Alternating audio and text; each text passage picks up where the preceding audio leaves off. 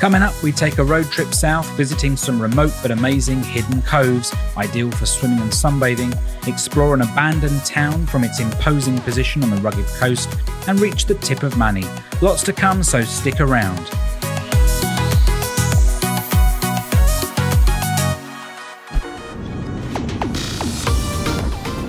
Today, our adventures take us from our base in Limeni right down to the tip of the Mani Peninsula. Roads around here are easy to drive and the coastal scenery pretty impressive.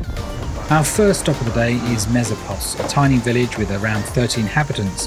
It has a few coastal properties for holiday lets, a couple of cute but rundown streets, and a small shop. You're probably thinking what's so special about this place? Well, we think this stunning rocky cove gets that award.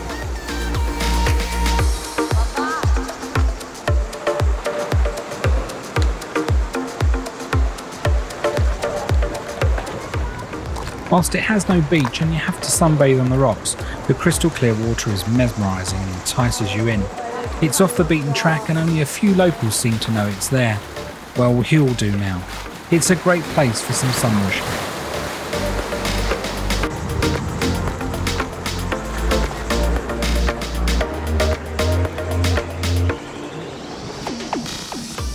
Next stop is Gerolimenas Beach. Its name means Old Harbour.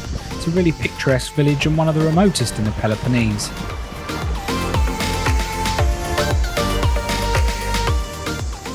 This lovely little fishing village has a smooth stone beach, and I know I keep saying it, but crystal clear water perfect for swimming. There are a number of small hotels and tavernas along the sea wall of the boat dock.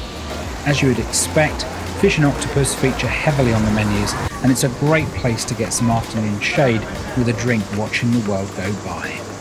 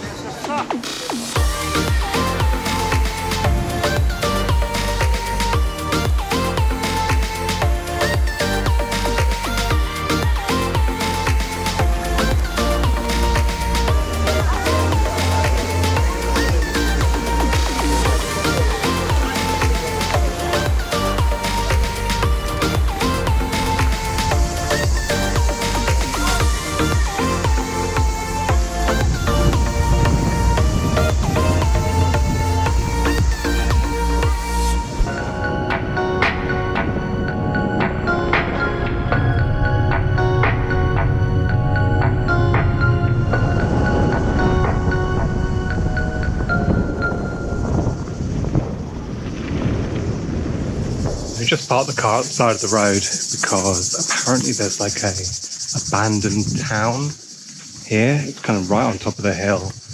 But there's no signs of the town here. It looks kind of lived in. but um, we'll walk down the road and see what we can find. Just around the corner, Vathia came into view with its striking position high on the hill.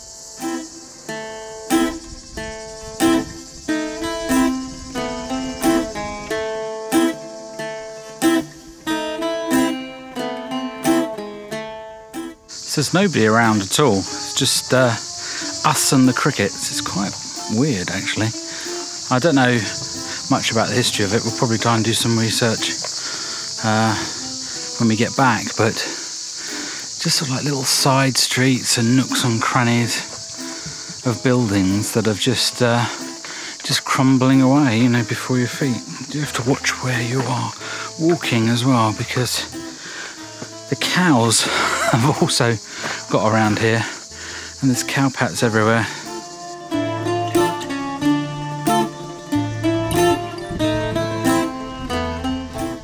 From the limited information we could find, Vathia still has some 33 inhabitants, so it's not quite a ghost town. Where they are living, who knows, we didn't see a soul. Built in the 18th or early 19th century, it's a great example of ancient Mani dwellings.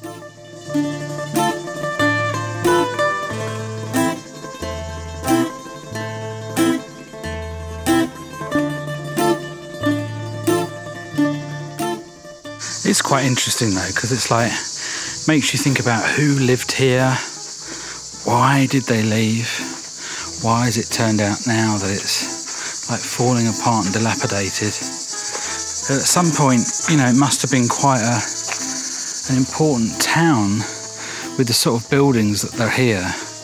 And the views are just absolutely stunning from this location. So it's just surprising that there's nobody here now.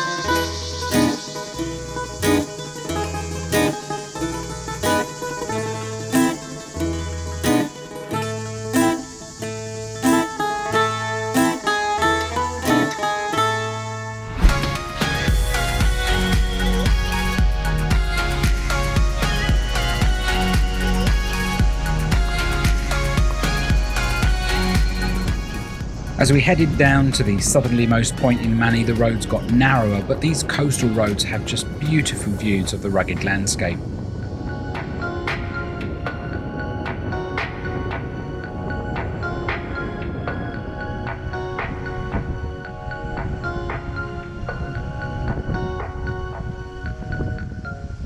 The great thing about hiring a car while you're away is that you can just stop over at any of these viewpoints and take in stunning views like the one behind me.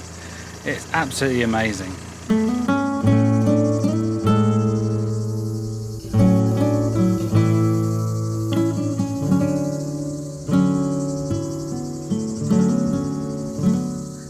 The furthest point by car is a place called Caves of Hades.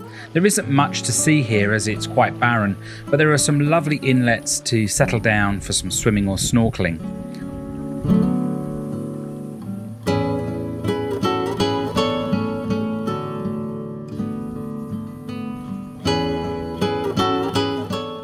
Our plan was to take the 45 minute walk to the lighthouse to get right to the tip, but it was incredibly hot that day, and without any shade, we wisely decided against it.